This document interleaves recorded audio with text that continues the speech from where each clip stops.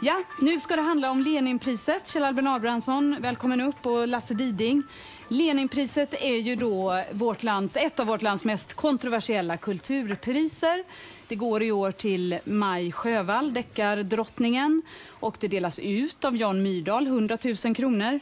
Kjell Albin, det är många som känner dig från radion. Du har mm, varit Östeuropakorrespondent och kan mycket om den eh, delen av eh, världen. Och du tycker, och har skrivit i Expressen också, att det faktum att Maj Sjövall tar emot det här, tackar ja och är stolt över priset, det är vämjeligt, för att använda ditt eget ord.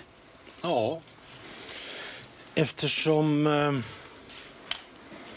alla tänkande människor är antinazister och antikommunister. Och här har vi alltså ett pris som hyllar kommunismens grundare, Vladimir Ilyich Lenin. Ett, eh, en eh, skurk, en man mm, som har eh, mördat massor med människor och som har, har, har skapat ett sånt elände. Och det är, detta är inte ett av prisen, detta är det värsta priset i Sverige. Lasse Diding, det är du som har instiftat det värsta priset i Sverige. Ja, ja, jag har respekt för, för Kjell Albins känsloengagemang men det passar ju rätt bra idag när vi talar om krig och fred och försvar att Lenin är väl den historiska person som har gjort mest för freden och för att icke vi ska kriga. Alltså, han drog ensidigt Ryssland ur krig, första världskriget. Ingen annan politiker i världshistorien har gjort något liknande. Helt unikt. Kallar du dig leninist? Ja, det gör jag. Det gör du? Ja. Även om det är vämjeligt enligt Kjell Albin och även om han var en skurk och en mördare? Och Ja, ja, han var ingen... Alltså, Kjell Albin, han är ju ingen historiker. Han har gett ut en sagobok en gång om flykten Oj, från oj, oj. Stalins läger som han hävdade att den är sann. Och han skrev till och med i den ja, Även om den inte är sanningsenlig så är den ändå sann i någon slags djupare mening. Att snacka historia med en sån kille det blir ju lite konstigt tycker jag.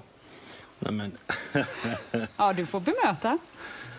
Ja, för det första så var det inte jag som har skrivit den boken. Jag har skrivit ett förord till en av de mera fascinerande böckerna som handlar om hur det är att leva i ett leninistiskt land. Men du, är det rättvist att jämföra Lenin med Hitler som du gör här? Naturligtvis. Och jag vet inget annat land i Europa där det skulle där den eh, public service-televisionen skulle arrangera en, en diskussion huruvida det är rätt eller fel att ha ett, ett Leninpris. Naturligtvis är det eh, eh fel. Och... Eh, Alltså, att höra Lasse Diding, det är ju...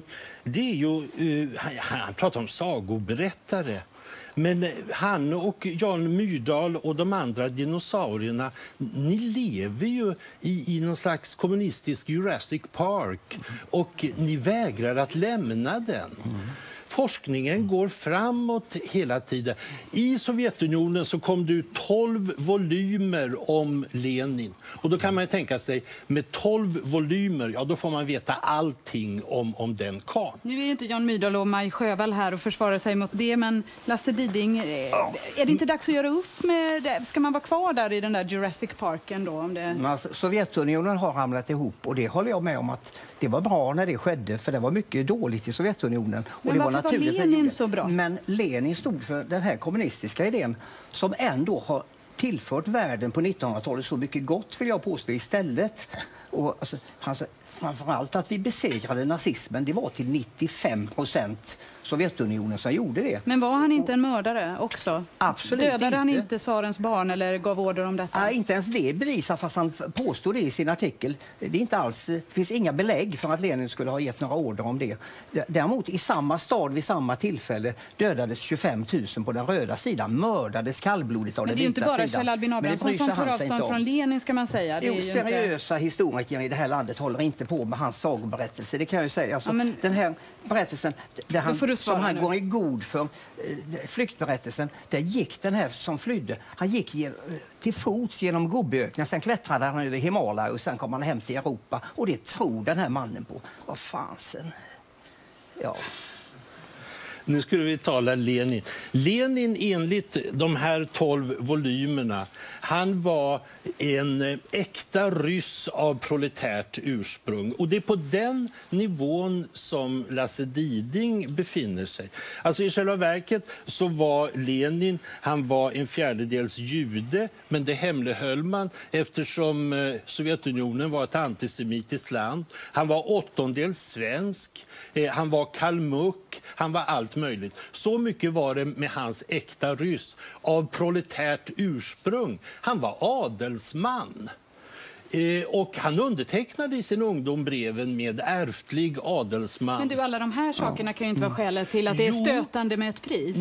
Jo, eftersom lögnen börjar ju här. Och sen har ju hela forskningen avslöjat... Det finns en, eh, en rysk eh, historiker som heter Dmitrij Volkogonov. Och, eh, han är general, han var kommunist, han... Eh, eh, kunde väldigt mycket om det. Han var Lenin-specialist. Och när han fick läsa några av de här 4 000 hemligstämplade dokumenten som eh, släpptes vid Sovjetunionens fall, då säger han allt det som jag trodde på rasade samman. Men du Och det är tro. de dokumenten som de här eh, dinosaurierna vägrar att ta del av. Eftersom då rasar er världsbild.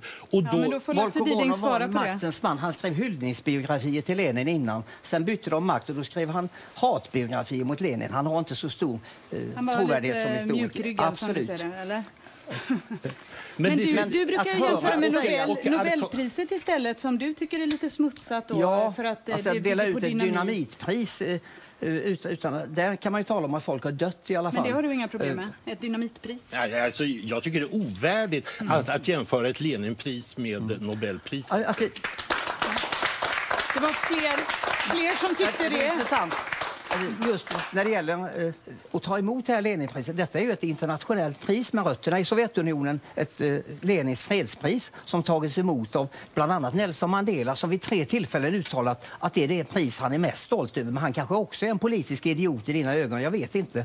Men sen tala om Sovjetunionen som antisemitiskt. Eh, innan jag, särskilt i samband med eh, under andra världskriget. Innan jag gick hit idag så gick jag in på United States Holocaust Museums hemsida där man kan läsa om just att den största gruppen judar som räddades under andra världskriget, alltså europeiska judar, det var de judarna som fick fly för tyskarna in i Ryssland. Trots alla strabatser så överlevde ungefär en miljon. Och det är den i särklass största gruppen. Därför blir de ofta tackade. Att jämställa kommunism och nazism, det är fasansfullt. Nej. Simon Wiesenthal... Nej, men Kjell Albin- Det Simon är, det är inte centret. fasansfullt. Jag har bott och jag bor i, i de där länderna. Mm. Jag har sett vad leninismen har ställt till med. Du Och- säger att det är en spottloska i ögonen, ett sånt Ja, det, pris det på sparkskrevet halva Europas befolkning som har tvingats leva under det där vidriga systemet. Men du har ett Leninbad som du driver i Varberg. Du vill ha en Leninpark. Är det den, din stora hjälte? Är det din... Ja, alltså, eh, Lenin han blir ju allt mer populär i Sovjetunionen idag. Trots att det var mycket dåligt som försvann när Sovjet föll ihop så var det också Märker mycket också bra som försvann. Populariteten i Vi det umgås gamla... tydligen inte i samma kretsar. Nej, det gör ni verkligen inte. Men tack för att ni kom hit och umgicks idag. Tack alla ni andra också. Tack Kjell Albin. Vi får ta varandra i hand. Tack så mycket Lasse Diding. Nästa vecka är vi tillbaka klockan 22.